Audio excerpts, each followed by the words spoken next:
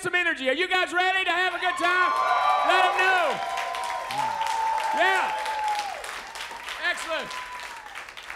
Now, this first act I'd like to bring to the stage, he and I have worked together several times, and I'm so excited always when he takes the class. It's such a thrill. You guys are going to love him too. How about a big round of applause for Cliff Hornsby? Let him know, Cliff.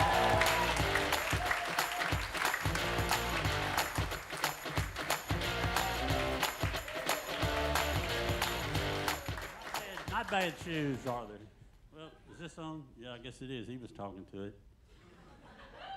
Uh, not everybody will have to be pulled up on the stage. It's just me. One special request of the audience. Please do not make a silver alert call for me. I left a note at the nursing home on my bed to tell them I'd be late. They put me up here first because the last time they put me on last and I fell asleep. and to be truthful, so you know what I'm doing, sometimes I walk out here and forget what I'm doing, like if I walk in the kitchen. So I used a senior trick. I stuck it to my arm.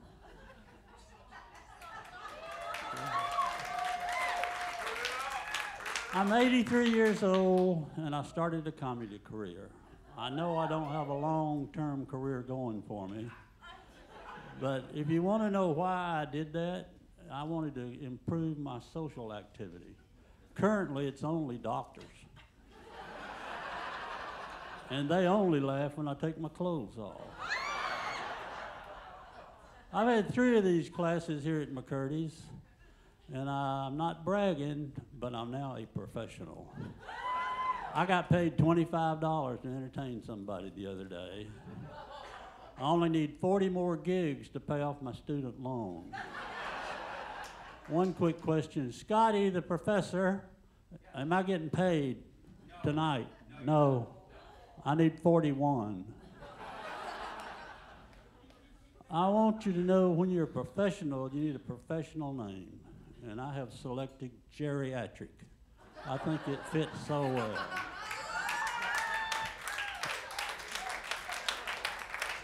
See, I did have to look down here. Oh, every comedian wants to go out with a bang. And of course, mine's a short term trip. And probably my last outing will be at a funeral home. Oh, no, don't worry. I've had a great trip.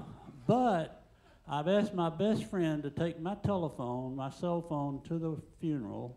When everybody gets there, he's to text them for me saying, Thanks for coming.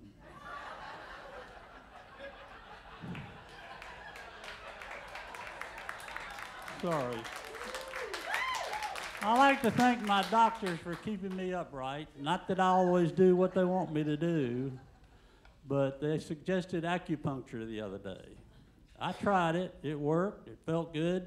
I called to make another appointment. The acupuncturist said, Cliff, you can't come back. I said, Why? It helped me. He said, Well, your blood's so old, you rusted all my needles. I joined the Navy when I was 16. I was young. When I was in the Navy, lady sailors were called waves. And the brochure that tricked me said, join the Navy and ride the waves. Well, it was a deceptive brochure, I can tell you that much. I had to look one more time. I'm so sorry. I hate deceptive signs, and there's a couple of them here. I also hate Alexa. There's a deceptive sign up on I 75 that says BJ's. I bought a membership before I ever knew what they were selling. I was in Nokomis the other day and there's a sign that said women's consignment. I tried to drop my wife off and they wouldn't take her. I hate Alexa. I understand she's a little Karen, and I apologize to the next person coming up here named Karen. But four weeks ago, I didn't know what a Karen was. But Alexa will wake you up anytime, day or night. She woke me up the other day at 2 o'clock in the morning. She said, Cliff, I have to ask you a question. I said, Well, now I'm awake. Go ahead. She said, Do you know what a completely sexually satisfied woman says after sex? I said, No. She said, That's what I thought. Or most men would say, who care? Who cares? Then mind. You know, we had a Chinese spy balloon go across the country recently, and everybody was all upset with that. Well, the government and the press got together to calm our nerves, and they sent out a headline. The spy balloon that flew over Washington, D.C. could find no intelligence. I met a transgender man the other day, just by accident. He was crying. I said, What's wrong? He said, I wish I had not done this. I said, But you've gone through it. You should be happy. He said, I'm okay with some things, but you should see the restroom line I have to stand in now. Everybody's had a COVID experience. Mine was at Publix on Longboat. Publix used to put down arrows everywhere up and down their rows. And you're supposed to follow them so we wouldn't breathe on each other. Well, I went the wrong way. And a little lady yelled at me, Mister, don't you see those arrows? I said, Hell, lady, I don't even see the Indians. I rode a SCAT bus the other day, that's Sarasota County Area Transit. Haven't ridden a bus in a long time. I saw a bus driver treat a passenger absolutely wrong. He stopped and picked the lady up. She got on the bus. She sat down to the right of him. He took off. I think she couldn't hear or speak because they looked like they were doing some sign language. He turned around and looked at her, and she took her arm and did this. He did this. She did this. He did this. She jumped up and did this. She got off the bus.